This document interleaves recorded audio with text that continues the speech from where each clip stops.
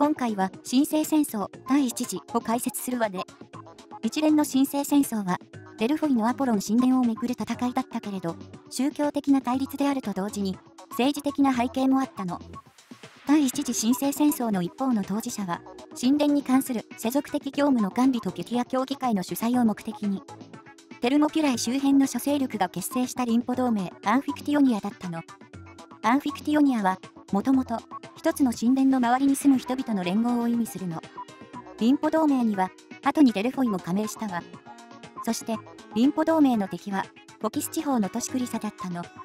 クリサは、アポロン神殿への海からの玄関口で、同神殿を支配下に置いていたの。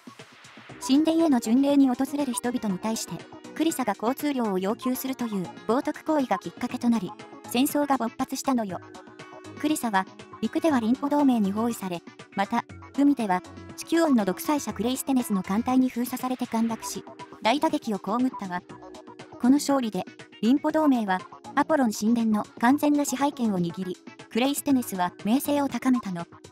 また、戦争後しばらくの間は、テッサリア地方の諸都市、特に、テーベの影響力がフォキス地方で強まることとなったのよ。